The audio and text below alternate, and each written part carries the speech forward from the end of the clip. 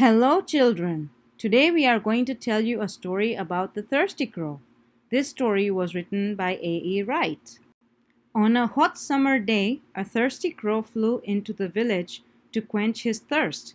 He flew over houses, roads, paths, searched fields. He looked everywhere but could not find a drop of water. He felt weak and sat on a tree branch outside the village. Feeling sad for himself, he said, Caw, caw, caw! I've been searching for water since the morning, but I cannot find anything to drink.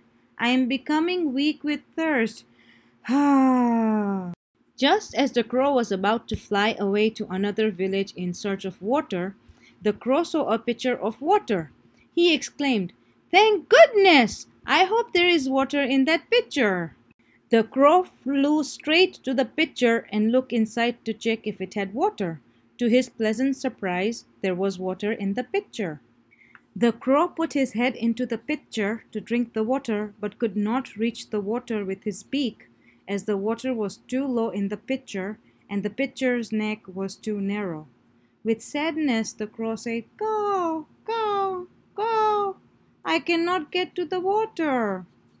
The crow tried to push the pitcher to the side so that he can drink the water when the pitcher topples over, but it was a heavy pitcher and try as the crow might, he could not topple over the pitcher.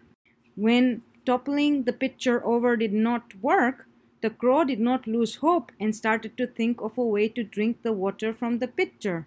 As he was flying over the pitcher, the crow spotted some pebbles on the ground and had a bright idea. The crow started picking up one pebble at a time and dropping it into the pitcher, and as more and more pebbles were put in the pitcher, the water started rising to the top. Soon enough, the water came to a level where the crow could reach the water with his beak and drink it. The crow drank the water and quenched his thirst. Once he had finished drinking the water, the crow flew away. So, dear children, what did you learn today from this story? What is the moral of the story? The moral of the story is that you have to be patient when you are faced with difficult situations. You should be smart and think of a solution that will work for you in this situation and you should be resourceful and use the resources around you to solve your problems. Thank you very much for watching this story. I hope you enjoyed it very much and I hope you like, share and subscribe to our channel for more such stories. Have a good evening, good day. Bye bye.